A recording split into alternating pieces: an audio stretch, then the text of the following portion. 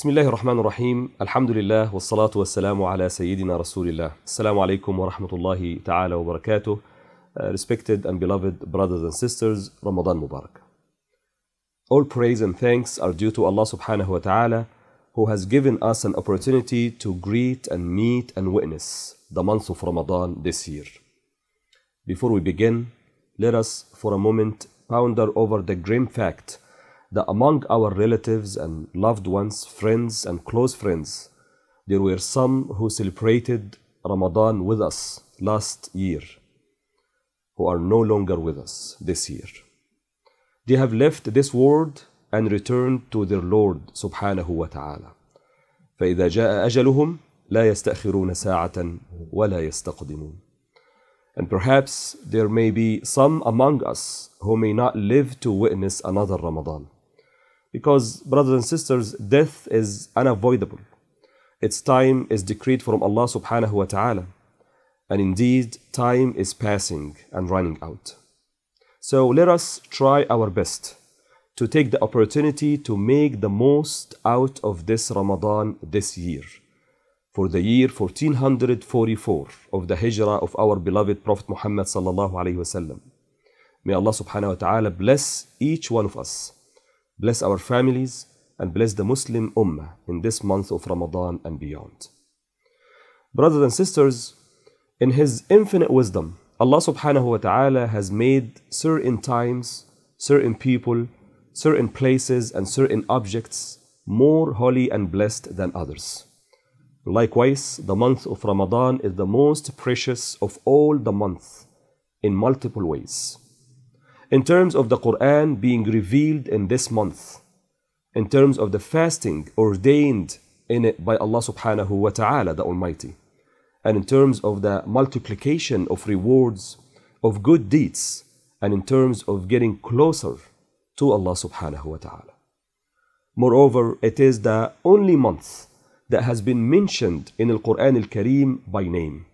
Allah subhanahu wa ta'ala has said, شهر رمضان الذي أنزل فيه القرآن هدى للناس وبينات من الهدى والفرقان.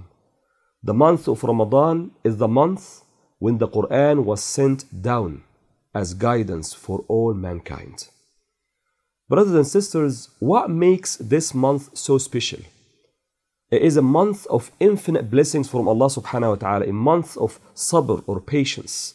It is a month of generosity and charity, sadaqat and zakah. But most importantly, it is the month in which the Quran was revealed and it is the month of siyam or fasting. This very special and unique ibadah, one of the pillars of Islam. Siyam literally means to restrain and to abstain from something. Why is it special? If you look at any other worship, especially the five pillars of Islam, Allah subhanahu wa ta'ala is ordering us to do something. With Shahada, the testimony that there is no God but only one God and that Muhammad is his final messenger. Ashhadu an la ilaha illallah wa ashhadu anna Muhammadan Rasulullah. It's an order to do something, to say something. In prayers, Allah subhanahu wa ta'ala has said many times, wa aqimu salah. So we have to stand and face the Qibla after making the purification of uh, the place and the body and you know raise our hands and say Allahu Akbar and do the prayer. It's an act of doing something. Paying zakah is also an act of doing something. When we collect and calculate our, uh, our wealth and uh, see if we're eligible to pay zakah and see the 2.5% and also with Hajj and Umrah, it's also an act of doing something. But in fasting, the only pillar of Islam, you're ordered not to do something for a special time, to abstain from doing something. And subhanAllah, you're abstaining from doing halal things that you're used to do every day and every night. Something which you are accustomed to do and allowed to do otherwise. Fasting has been ordained upon every sane, mature, and adult Muslim who is able to fast. But the question again is what is the objective of fasting? Why Allah subhanahu wa ta'ala is asking all of us to fast during the days of Ramadan? Allah subhanahu wa ta'ala has said in the Quran al Kareem, Surah Al Baqarah, يا أيها الذين آمنوا كتب عليكم الصيام كما كتب على الذين من قبلكم لعلكم تتقون O you who believe, fasting is prescribed for you as it was prescribed for those before you so that you may attain taqwa as in Surah Al-Baqarah. So basically the word taqwa among its other meanings, you know, piety, righteousness also means to save and to protect yourself from things that may harm you. And so you see in the Quran al-Karim the dua of the great people, the righteous people, ربنا آتنا في الدنيا حسنة وفي الآخرة حسنة وقنا عذاب النار. Our Lord give us good in this world and in the hereafter and protect us from the punishment of the fire. Allah subhanahu wa ta'ala also um, uh, um, ordered us to, uh, to protect ourselves and to protect our families from the fire. يا أيها الذين آمنوا سورة التحريم يا أيها الذين آمنوا قوا أنفسكم وأهليكم نارا O you who believe, save yourselves and your families from the fire. So as we can see, brothers and sisters, that taqwa have a direct relationship with siyam. Siyam provides us with an opportunity for every believer to draw closer to Allah subhanahu wa ta'ala and to be protected from the hellfire.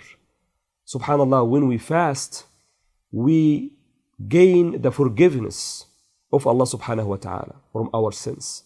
As in the hadith, من صام رمضان إيمانا واحتسابا غفر له ما تقدم من ذنبه.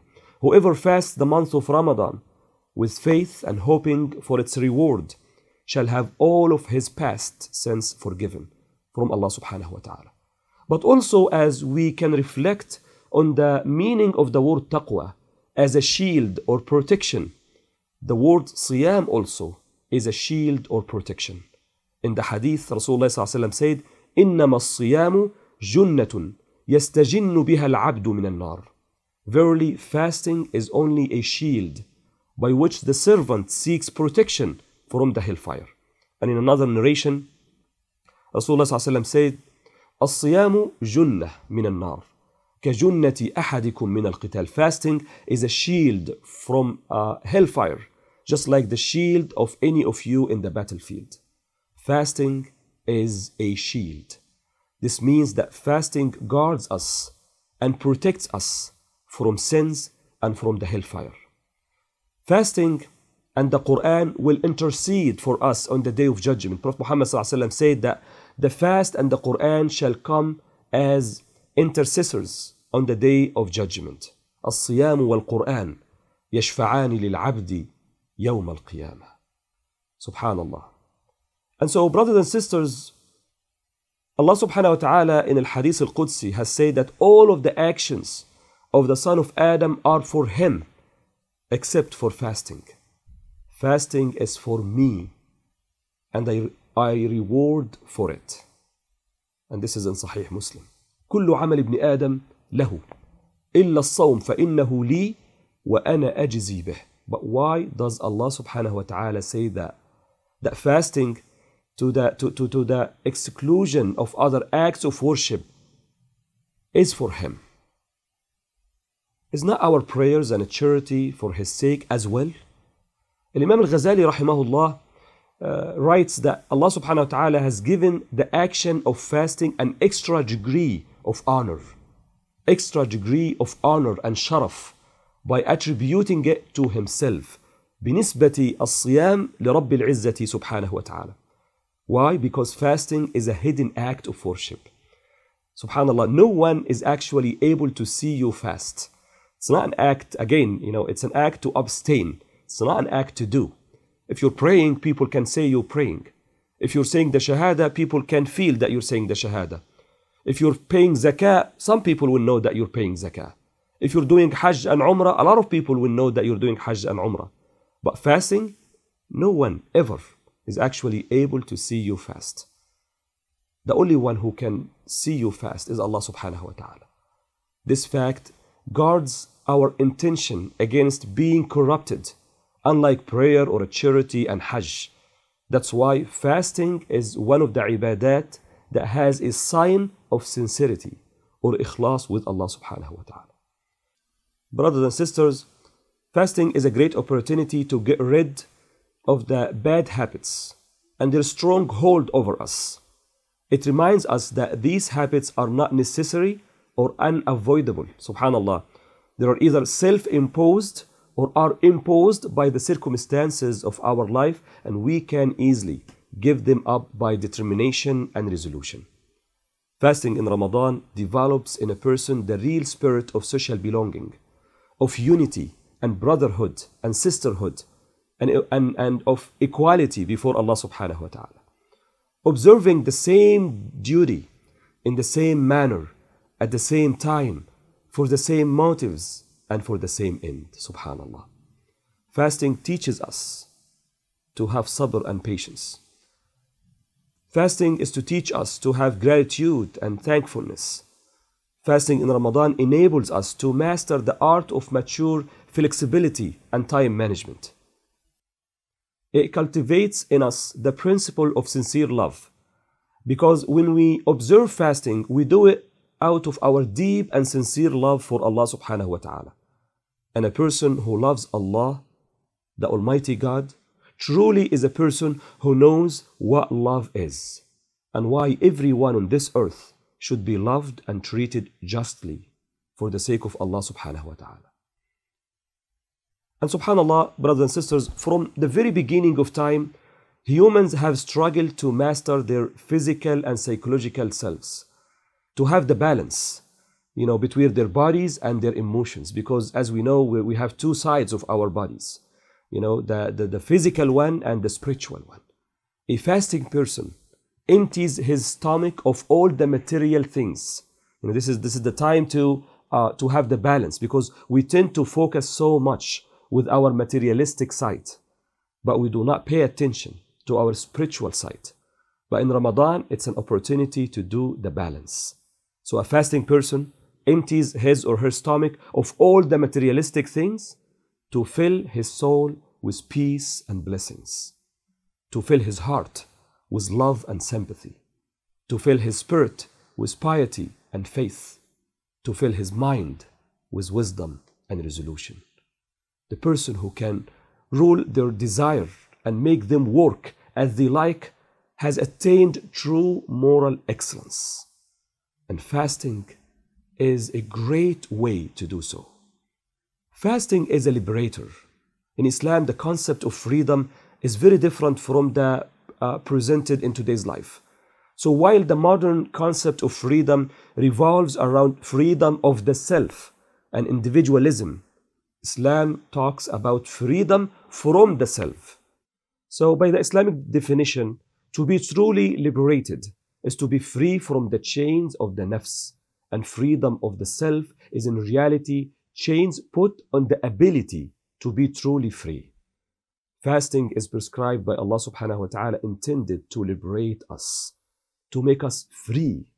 That when I'm eating every day and drinking every day and focusing as many of us do on material things every day, then Allah subhanahu wa ta'ala, from His love and from His rahmah and compassion upon us, He prescribed the month of fasting, the month of Ramadan, which disengages us from the addiction to food and drink and all the other things, so that we realize that there is life beyond materialistic.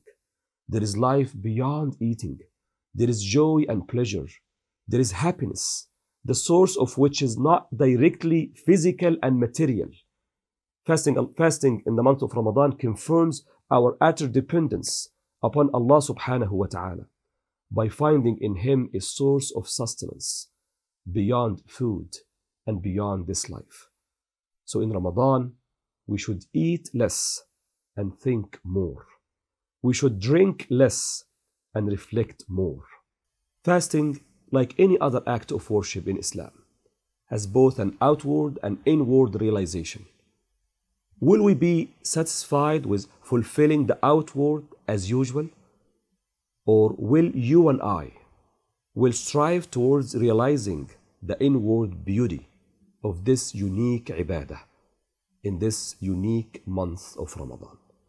We ask Allah subhanahu wa ta'ala the Almighty to bless all of us, to accept from all of us our acts of worship and ibadah in this Ramadan. ربنا تقبل منا إنك أنت السميع العليم كل عام وأنتم بخير رمضان مبارك والسلام عليكم ورحمة الله وبركاته